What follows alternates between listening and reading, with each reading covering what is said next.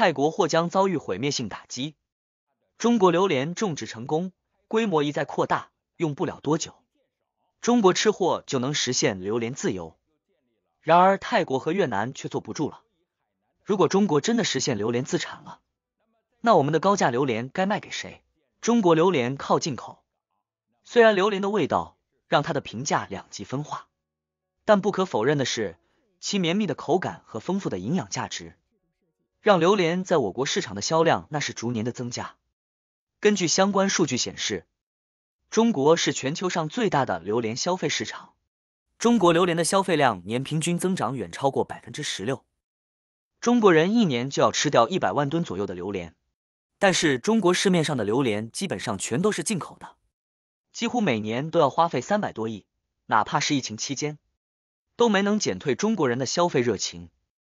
根据海关数据统计，仅二零二一年我国进口榴莲的数量就高达八十二点一六万吨，而其中百分之九十九都是来自泰国，占据了泰国榴莲产量的百分之六十三点七五。可以说，仅凭中国进口榴莲的消费。就足以撑起他们国家一半的 GDP 了。看到这里，肯定有人会问：既然中国人这么喜欢吃榴莲，再加上一直以来的种植天赋，为何还没有实现榴莲自产呢？其实，我国试图种植榴莲可以追溯到明朝时期。相传是郑和下西洋的时候，偶然间发现了一颗黄灿灿、身上长满尖刺的果子，好奇的他决定打开看看。一打开，就有一股浓郁的气味。郑和忍着臭味尝了一口，却发现吃到嘴里竟然十分绵软甜蜜。由于在海上作业的时间太长，船上也没有什么食物，所以郑和就和船员连续吃了好几天的榴莲。走的时候仍然恋恋不忘，于是就将这个果子命名为榴莲，意为榴莲。回国时，郑和还将种子带了回来，但是无论怎么种植都没能成功。榴莲属于热带水果。它必须生长在日平均温度二十二度，降水量要在一千毫米以上，土壤肥沃并且排水性好，并且常年无霜冻的地方。所以世界上的榴莲种植的绝大多数都集中在东南亚和马来西亚。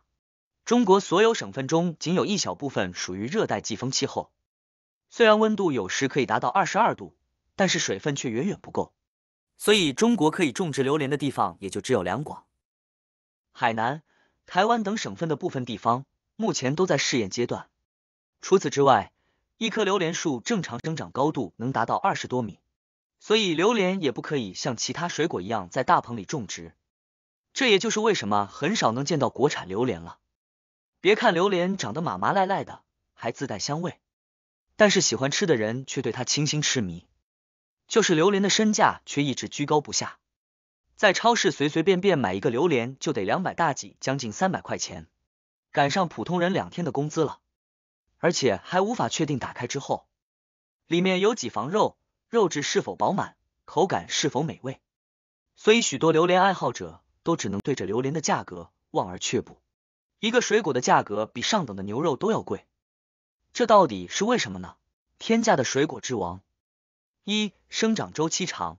首先，榴莲具有极其漫长的生长周期，从开花到结果大概需要十年左右，而且每年只结两到三次果。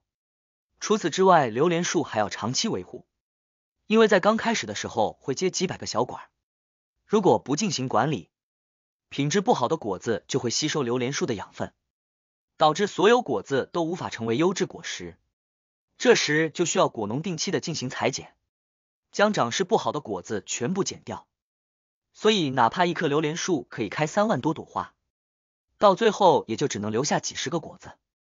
另外，榴莲树挂果儿的高度基本上都在十二米到二十五米，若受台风侵袭，将会严重减产。但是，榴莲的种植地又恰好都是热带季风性气候，临近海边，经常会出现台风，再次导致榴莲的减产，进一步导致榴莲价格上升。二，人工成本高。榴莲全部都依靠人工采摘，而且摘榴莲是一个高风险工作，人工成本也比较高。一棵榴莲树至少需要两个人同时进行工作，一个人需要爬上二十多米的树，期间没有任何保护措施，稍有不慎就会跌落下来。另一个人需要拿着麻袋在树下接着。这项工作也有风险，毕竟一个四五斤的榴莲，从二十米高的树上抛下来，冲击力是非常强的，严重点就会导致皮开肉绽。有网友开玩笑说道：“摘榴莲就是在赌命，成功了就挣钱，不成功就得吃席了。”三、运输成本高，我国的榴莲目前无法自产自销，只能从国外进口。从采摘到运到顾客的手中，需要经过很多工序。榴莲对温度是极其敏感的，为了在整个运输过程中保持它的新鲜程度，必须要购进大量的冷冻设备，使用冷藏车。在到达港口或者机场后，榴莲还需要进行登记、检验和消杀，每个环节都需要成本，一系列的成本都要加到榴莲的身上，最终都是消费者买单。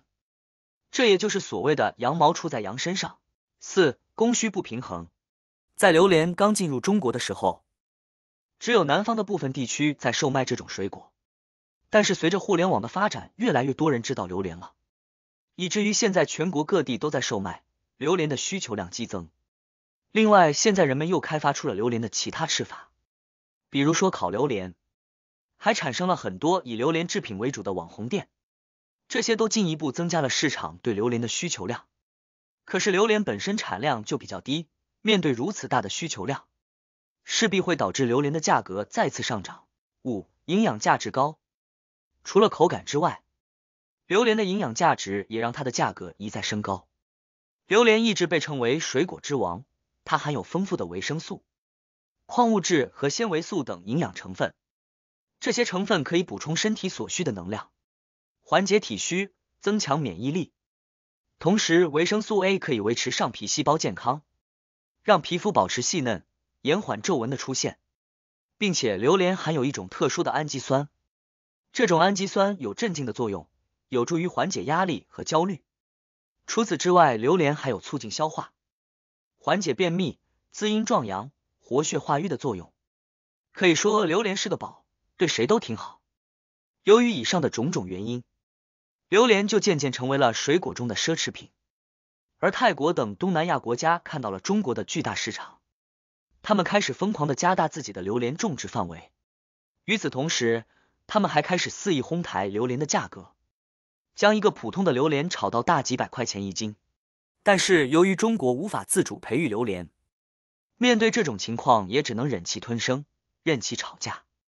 一直到二零一九年，这样让中国束手无策的情况，终于迎来了颠覆性的变化。中国榴莲种植规模一再扩大，但该市场的自给率仍然很低。与此同时，中国的榴莲进口主要来自泰国，占据了泰国榴莲产量的百分之六十三点七五。因此，中国的自产榴莲种植可能会影响泰国榴莲产业，特别是针对高价榴莲市场的泰国榴莲。在竞争激烈的市场上，泰国、马来西亚的和越南榴莲种植业者又有什么对策呢？让我们拭目以待。